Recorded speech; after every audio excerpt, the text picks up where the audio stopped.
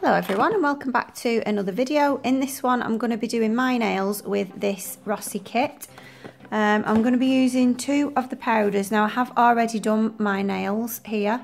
Um, unfortunately I did accidentally lose the beginning of the video so I'm just showing you what I'm using. Um, so I'm going to be using these two powders. Um, these dip powders. This one is Vacay Time. This one is Skyscraper. Um, I've got some swatches so I can show you what they look like.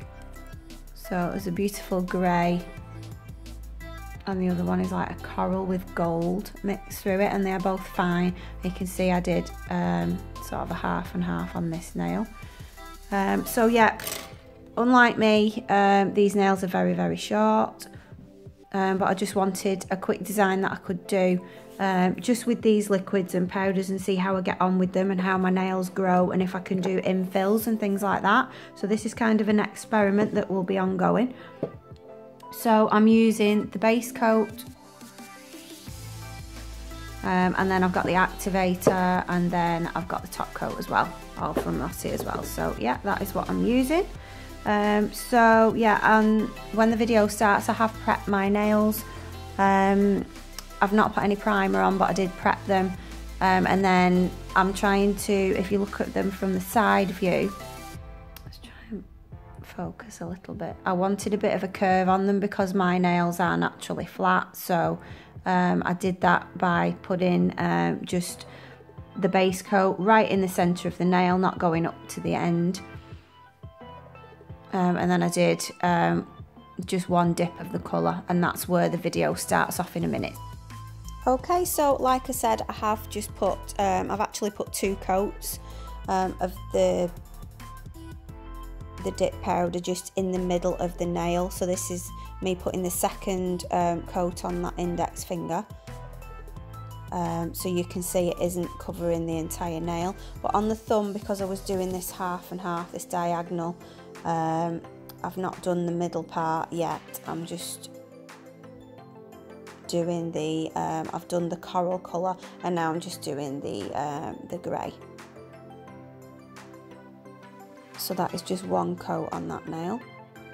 And then when it's been on for at least 30 seconds, then it's okay to brush off. This one isn't a really fast setting one, which I find is a lot better. Um, now you can see I'm putting the base coat on the entire nail now uh, before I dip it into the powder and I am just wiping off the brush on some kitchen paper before I put it back in the bottle. So yeah, and then on this middle one, I'm not doing the entire nail um, because I am doing, uh, sorry, I am putting the base coat on the entire nail, but I'm doing a bit of a half and half on this.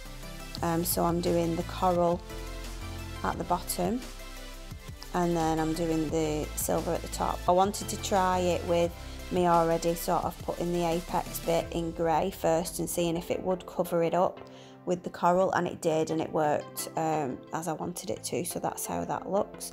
Obviously they look a bit rough now because um, you know they've not been filed and everything. So this is the middle finger again and this is the second sort of half and half coat that I'm doing. So in total they do get four coats uh, at least four coats of the dip powder and it depends how thick you want them.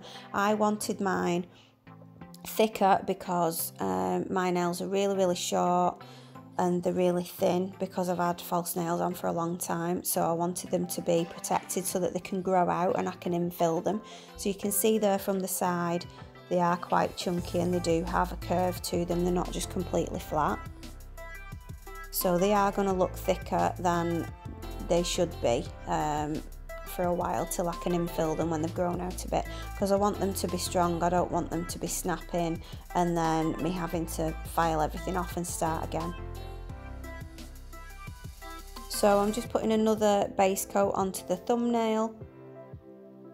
And then I can do sort of the half and half again on this one.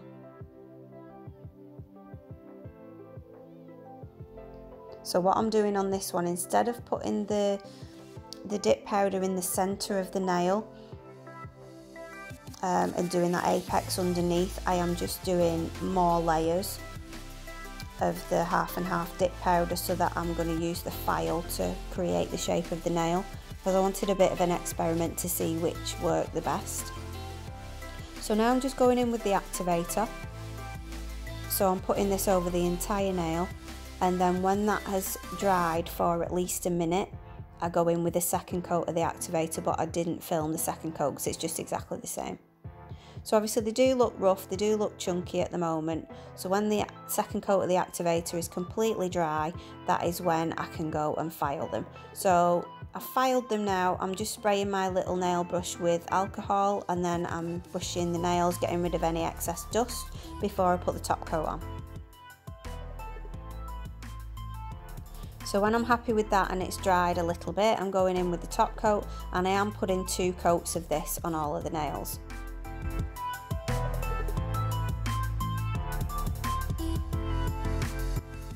So I did go very carefully with this and I do put, um, so it does um, go on a bit slower. And this top coat, it does take a while to dry. I'd say at least a minute, maybe even two minutes for each coat to dry. But at least you know then that it is um, fully, you know, encapsulated and everything and it's cured properly, it's dried properly. So I do really love the way that these look. I love the way that they turned out. Um, this is definitely going to be something that I do in the future. It's just easier for me because um, I have got a lot on at the moment and it's just easier an easier process for me to do on my own nails because once they start growing out I'm going to do another video of me trying to infill these and see if that works because if it does then I have got you know I've got a good foundation and my nails are going to stay strong. So this is them all complete with the top coat on. So now I'm just going to put some cuticle oil on because they are really dry.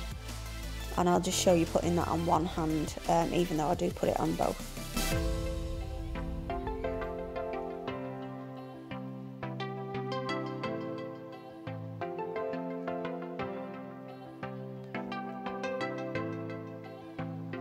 So here they are all finished. What do you think? Um, I am an ambassador for Rossi and you can get my 20% off code um, if you go in the description box and look for that. So I think 20% is a really good discount. Um, and obviously this is a good um, way to do your nails you know if you're in a rush or if you're if you don't want to mess about with UV lamps and things like that you can just do this. It's an easy way. I absolutely love this kit and I would recommend it. Uh, what do you think? Let me know in the comments. Um, yeah and that's it for this video. I'll see you in the next one. Thank you so much for watching and stay in stay safe and look after yourself. See you next time. Bye